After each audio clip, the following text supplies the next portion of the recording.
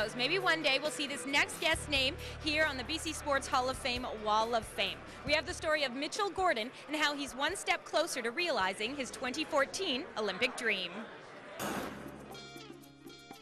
After landing a career first, his Olympic dreams have inched closer to reality. Good. The third time at uh, a national level competition, and so this year he was really determined that it was going to happen, and he's really come a long way he thinks and the way he competes.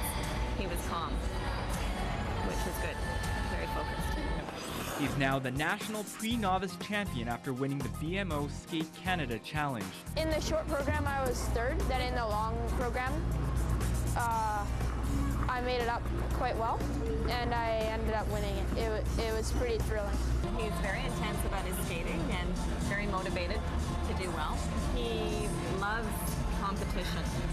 always wants to win. He used to watch his big sister, and he was at the rink when he was two and three watching her, and it was very hard to keep him off the ice. As a child, he favored figure skating over hockey because he loved to spin. Mitchell is one of the most naturally talented skaters that I've worked with. Really dedicated, um, works very, very hard, understands the sport really well. And the closeness of the Olympics a month away in his own backyard is driving him even harder. Seeing that it's a possibility to get there. When you're at the lower levels, you see it, but you don't see how to get there. And then as you progress through the levels and progress through your skills and get more skills, you suddenly realize that you're doing what a lot of the top people are facilities are getting a lot better, and it's making me think they're really, the Olympics are really close now. And it's giving me kind of a mind frame of what it will be like when I get to, if I get to go. I know he wants it, absolutely. Um, I can see it in his eyes when he's working and when he's in a competition. But there's still plenty of work to do before 2014, when he'll likely have his first shot at Olympic glory. He's on ice Monday, Tuesday, Wednesday, Thursday, Friday, Saturday. That's coupled with um, flexibility class once a week, strength and conditioning class once a week, dryland jumping class once a week. I think it's half and half with physical and mental.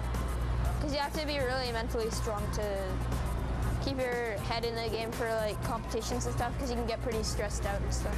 Luckily, the most important requirement is already there. Mitchell doesn't really like doing things that he doesn't like doing, like most kids. So when he gets up and will uh, early in the morning to come skating or stays up late in order to go skating and then get his homework done, I can tell he's enjoying it. In Richmond, I'm Peter Kim for The Express. Mitchell's next big test will be the BC Winter Games in March, and he's hoping to have the triple loop mastered by then. We have lots more action still to come on today's Express, from snowboarding kids to Canuck captains, including Phil Maloney.